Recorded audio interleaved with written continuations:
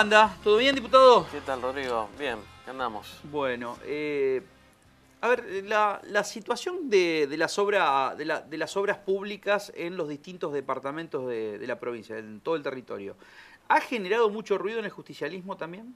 Para, sobre todo, digamos, a ver, ¿qué es lo que se ha hecho nueve años, no solamente en este año que lleva, 14 eh, meses que lleva Lipschitz, sí, sino también este, en todos los años del Frente Progresista? Sin lugar a duda, eh, creo que es uno de los grandes eh, déficits que ha tenido la gestión del Frente Progresista Cívico y Social este, desde diciembre del 2007 a la fecha, ¿no? y que estos últimos años, este, después del tema de, las grandes lluvias que hemos recibido en todo el territorio provincial, quedó al descubierto y este, eh, claramente manifiesto la necesidad de esas obras que no se hicieron en nueve años de, gobierno.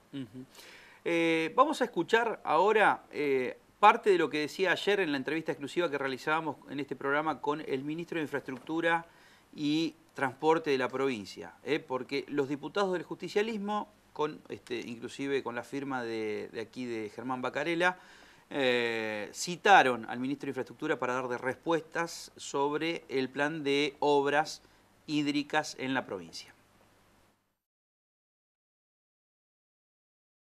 Y somos conscientes de que estamos viendo una época de, una crisis hídrica diferente, con napas muy altas, como hacía tiempo que no había. En la reunión con los gobernadores estaba también el área productiva para trabajar en, lo, en, el sistema productivo, porque evidentemente esto impacta.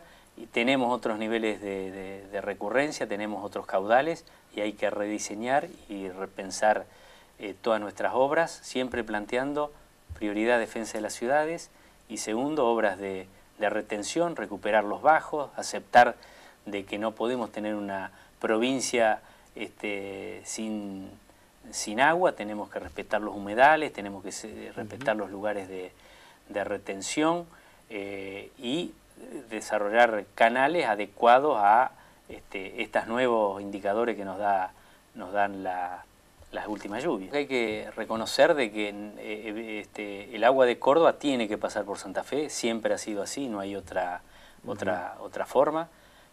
Tiene que, pasar y, ir por el territorio santafesino con un proceso de planificación, de identificación de cuáles son los excedentes, de, monitoreo continuo, y para eso es fundamental eh, los comités interprovinciales de, la, de Cuenca. Por eso estamos funcionando bien con la Picasa, estamos empezando a funcionar bien con, el Carcarañá, pero funcionar, yo creo que el objetivo es que las dos provincias vean eh, el problema como único. Lo que pasa en Córdoba es un problema de Santa Fe, lo que pasa en Santa Fe es de Córdoba, no, no entrar en un proceso de negociación. Vamos a trabajar como una única unidad la cuenca del Carcarañá, que ya se venía trabajando, pero con otra eh, en otro nivel, con otro ritmo, y lo mismo vamos a trabajar con la del Vila Cululú y con, lo, de, con lo del Sastre. Empiezan a trabajar los equipos este, técnicos para eh, controlar canales clandestinos que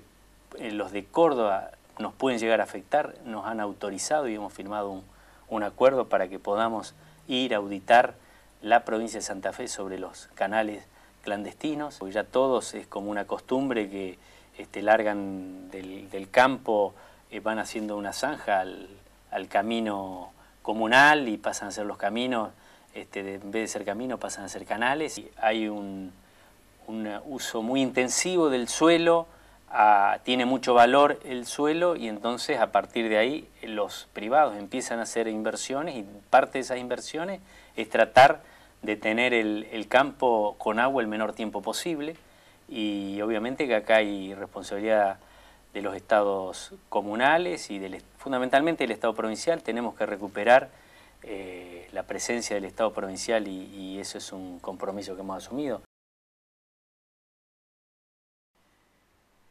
¿Cómo surge justamente la iniciativa de eh, citar a, Garibay a dar explicaciones a, la Cámara de Diputados? ¿Cuál es el, problema que ustedes eh, alertan justamente a la, ciudadanía y sobre todo desde el punto de vista político? Fundamentalmente, Rodrigo, lo que pasó el año pasado, este año, y lo que va a seguir pasando en los sucesivos meses y años este, con el tema de las inundaciones. Esto va a seguir ocurriendo, la provincia va a seguir perdiendo sumas importantísimas de dinero, los productores se están fundiendo, los productores rurales, este, y este año ya este, creo que fue gravísima la situación en,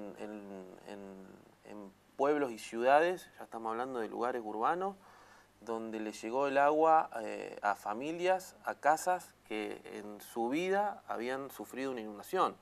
Digo, eh, la, ciudad de Rosario, de Villa Honor Galvez, eh, de Figuera, de Arroyo Seco, de Villa Constitución, este, fue terrible lo que pasó ahí. que, ahora, a pesar de que pasó hace poquito y que todavía lo están sufriendo, por ahí no es, no es muy público, pero a ver, la realidad es que el ministro plantea que se están poniendo a trabajar, digo, como decíamos recién, ¿no? Vienen gobernando hace, este, y esto no es, no es a modo de chicana ni nada, hace mm. nueve años que están gobernando y creo que los santafesinos se merecen este, que la gestión provincial está a la altura de circunstancias y no coincido en este, delindarle la responsabilidad a los presidentes de comuna, porque la verdad que los presidentes de comuna eh, y de todos los partidos políticos la están remando con dos escarbadientes cuando se le viene el agua encima o este, eh, cuando los productores, ante la falta de,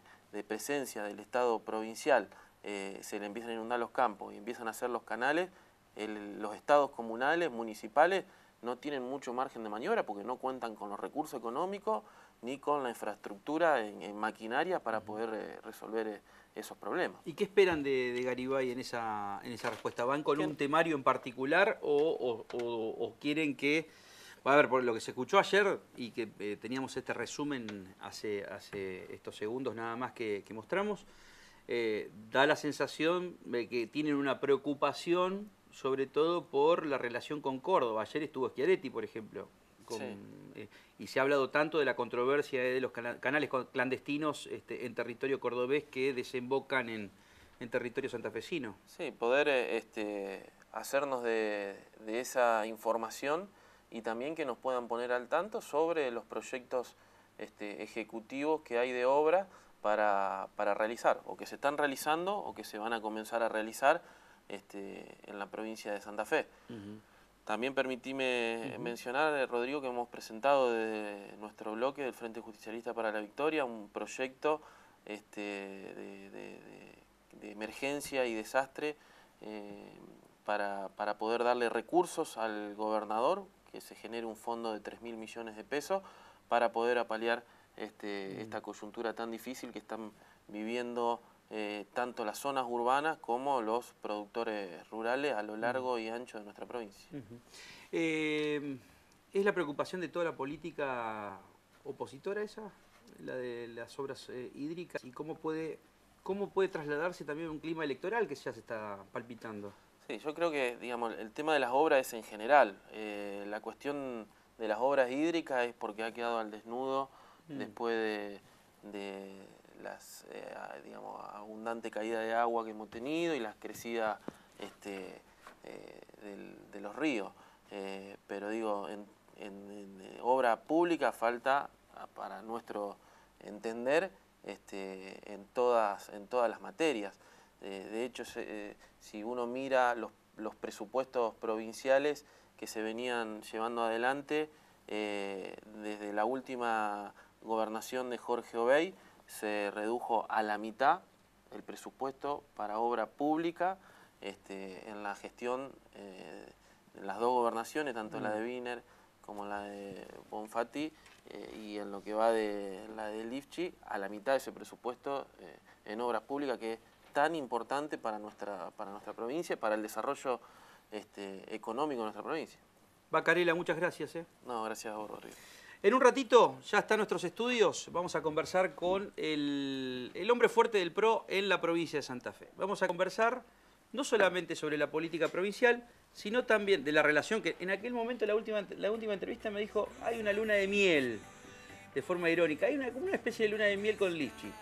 Ahora, yo se le voy a preguntar a Angelini, Ahora, que está, allá es 2017, clima electoral que se viene palpitando, armado de potenciales candidatos.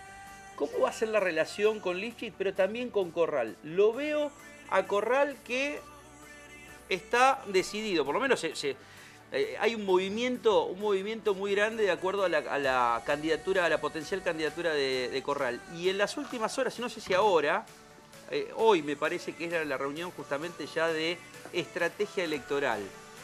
¿Le consiguieron el sí a Corral? ¿Están tan pendientes los del PRO de la provincia de Santa Fe